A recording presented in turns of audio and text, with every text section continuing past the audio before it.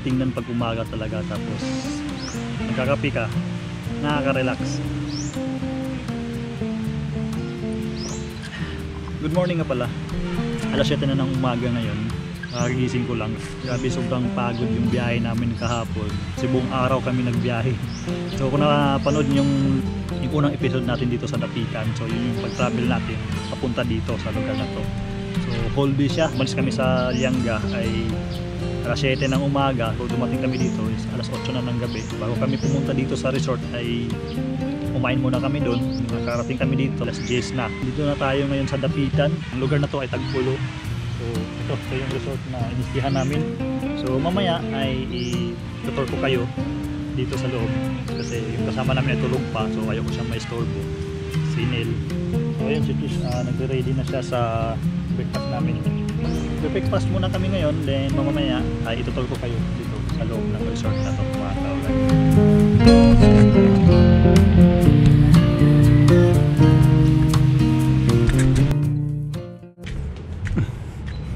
Grabe sobrang tarik dito mga kaureto.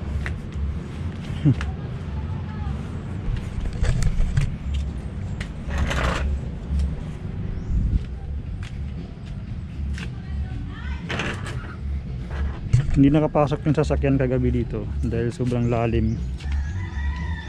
Nahirapan kami kagabi. Ah, hiningal ako dun sa daanan. So maghanap muna ako ng isda kasi may mga bagong hangong ngayon. So preskong presko pa yun mga kaulit. So pagkakalam ko sa mga bahay-bahay dito ay meron. So, parang nag-iba na to dito eh. Dati kasi din may mga bahay-bahay kung ba't wala na. Nagawa kasi itong kalsada bago lang to. Noon ay hindi pa to ano, semento. So ngayon ay okay na. Mas maganda na yung kalsada ngayon. Hindi ko alam kung saan ako mag ah, ano, hanap ng mga binibentang isda. Kasi nawala na yung mga bahay-bahay dito. Hanap muna ako mga kaulit ganda ng dagat oh, ang linaw kalmado yung dagat mga kaulit nalala ko na yun pala yung binilahan ko dati. Yung pulang bahay na yun yung pulang bubong. Ang layo pala. Hindi ko na kasi maalala. Tagal-tagal na yun.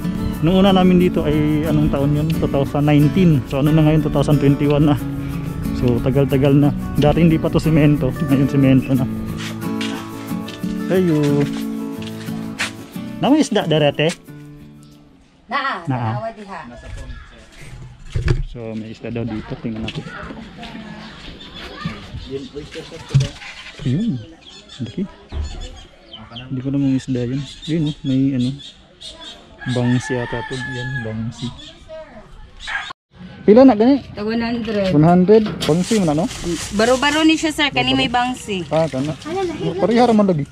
Ulit, gagmay lang ni siya. To, pila 84. kana lang dito tayo daan sa ano sa beach. Ganda ng buhangin dito mga karet puti. Ano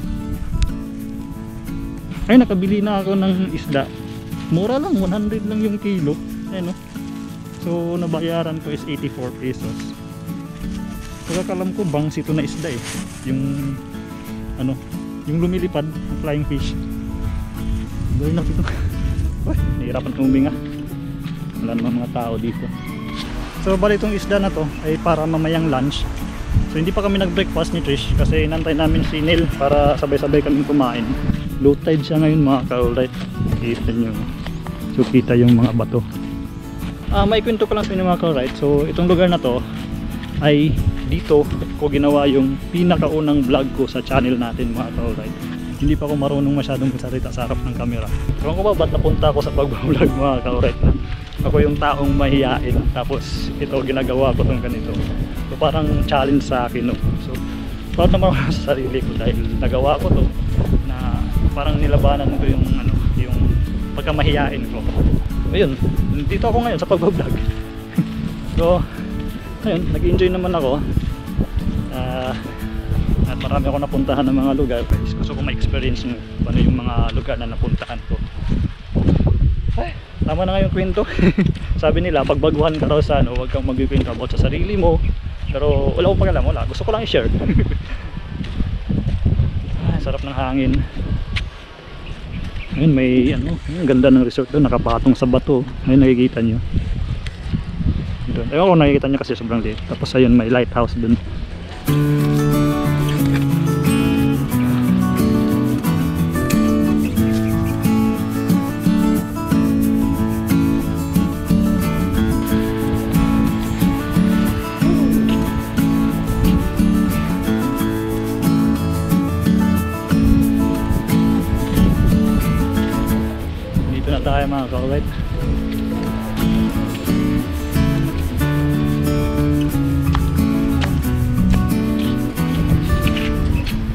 Tulog pa siguro si Neil kasi hindi pa kumain.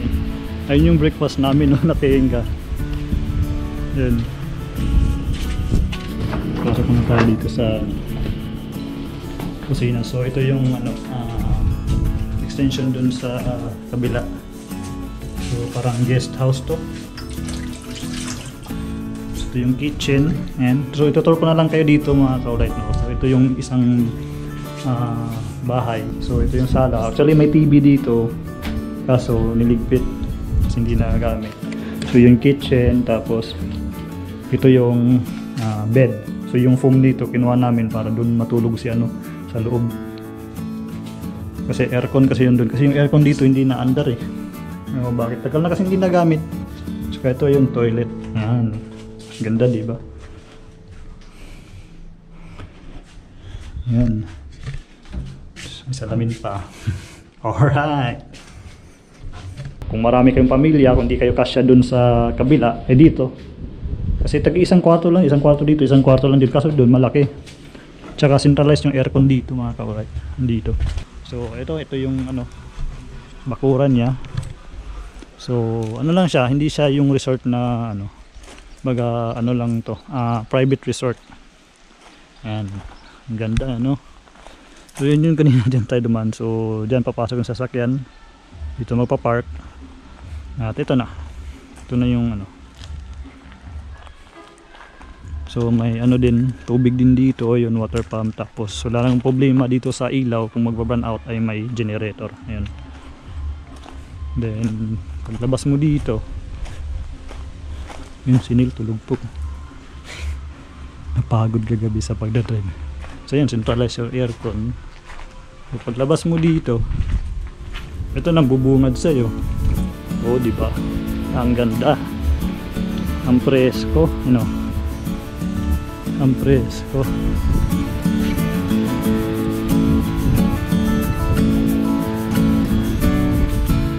Tapos ito yung harap ng resort. So ito, dito tayo nag-tour. Dito mamaya maya na. So sisingit na lang natin sa clip no. So yun na, harap na yung dagat. So pwede nang maligo dyan. So doon tayo galing bumili ng ano, ng isda. Hello. ah, kapit ba? So dito Ayan yung shower Kung galing kayo sa dagat Pwede rin maligo lusot na to dun Sa garahe. Ayan. So nailibot ko na kayo dito sa Resort na to. At nakaka Nakaka-relax mga tore. Ayan pwede dito mag bonfire no? So ano Dapat may lagayan. Siya pwede dito mag-ihaw-ihaw. Nung dito kami nung last na nandito kami mga ka 2019 ay ito nag-ihaw-ihaw kami nag-inuman. Kasama ko nun si Papa si EG kapatid ko si paring Nel si Trish ako. So lima kami nun. Kasi yung multicab nga kinuha namin dito. Dito namin kinuha yun. So dito kami nag-inuman nun. Sabi enjoy na enjoy kaso nga lang kulang yung araw namin nung isang araw lang. Bali tatlong araw kami. Isang araw biyahe. Tapos ang araw stay dito. Tapos kinabukasan alis na. So ngayon mahaba yung ano natin dito kasi mag-stay kami siguro mga apat na araw. Depende kung magustuhan namin mag-extend kami ah sarap ng hangin mga kaulit ito yung gustong gusto ko na lugar talaga. Alam nyo hindi ko maipaliwanag kung nararamdaman ko no? Napifeel ko pag nakakita ko ng ganitong tanawin. Siguro hindi ko ma-express sa inyo o maipaliwanag na masyado pero siguro naintindihan nyo naman ako no? Pag nakakita ko ng ganitong mga tanawin lalo sa mga travel vlogger ay napakaganda talaga. Nakaka-relax mga kawet.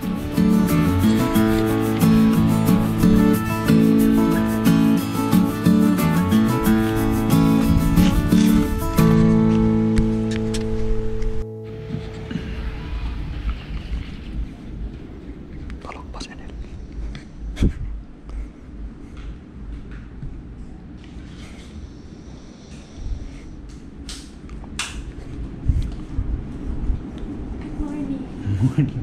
Morning, alas 8 na. So ito yung loob ng kwarto namin mga kauray. So mamaya na tayo magtutur dito kasi tulog pa yung kasama namin.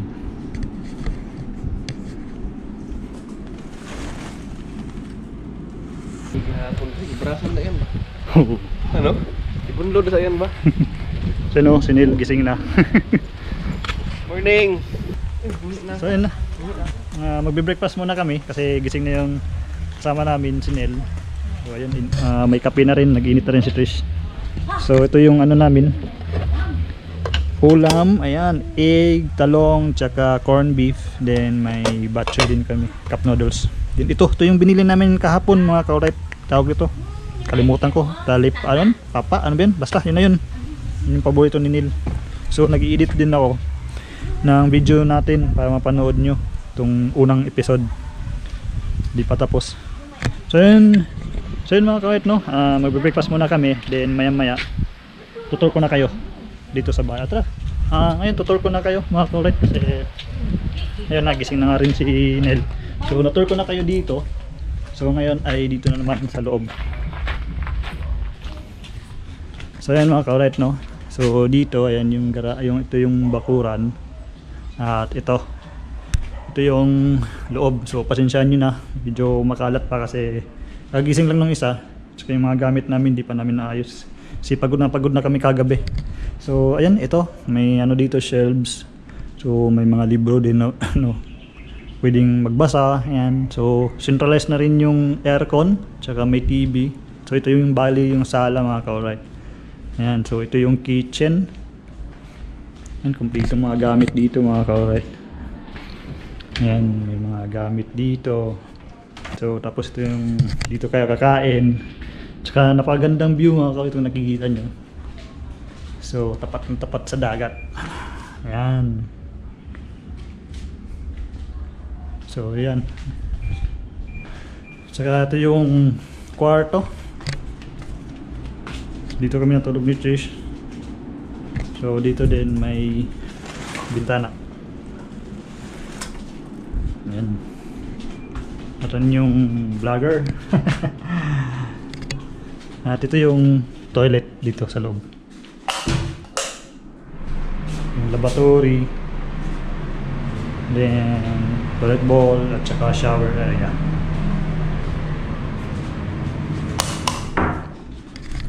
So yun no, uh, naik na-tour ko na kayo dito sa loob ng ah, bahay at napakaganda mga kaulay. So, simple lang siya. At yun, malaking area dito. So, kung maraming pamilya, pwede dito. So, dito natulog si Neil. So, yung mga right no, ah, magbe-breakfast muna kami kasi alas 9 na. So, maya-maya magpaplano kami kung anong mapagplanuhan. So, tingnan natin na maya mga correct. Update ko kayo.